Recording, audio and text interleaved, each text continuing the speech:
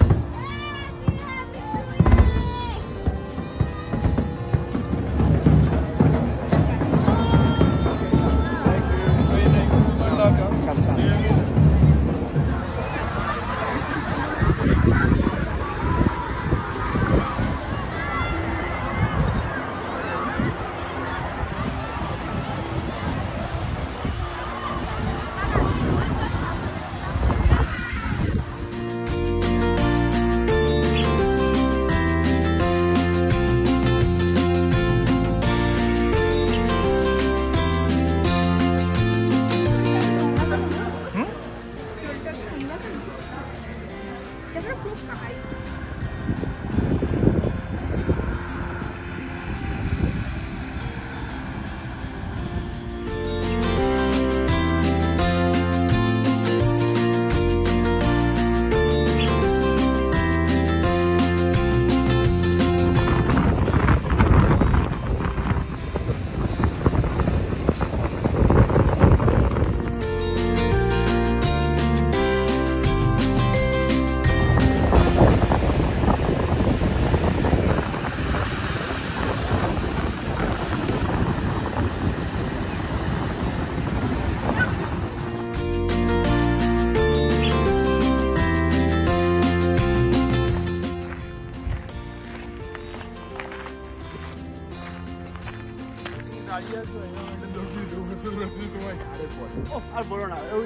사람들은 솔직해요. 이 팩이요.